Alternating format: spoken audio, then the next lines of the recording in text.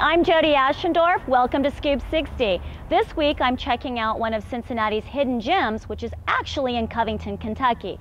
Sushi Cincinnati. Come on in. Hi, I'm with uh, Deb and Jack from Sushi Cincinnati, and Deb is going to be rolling some sushi while I talk to Jack a little bit about what Sushi Cincinnati does. So, Jack, tell us how you got started and what you offer here.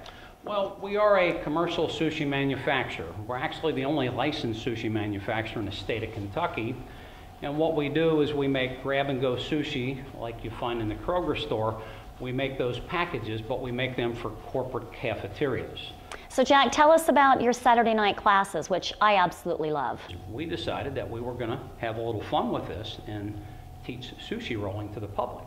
We, uh, you know, get them all in here, give them a, a 10-minute lesson, bring them up to the table, and let them go at it. For more information about Sushi Cincinnati, check out their Facebook page and their website. That's it for another Scoop 60. See you next week.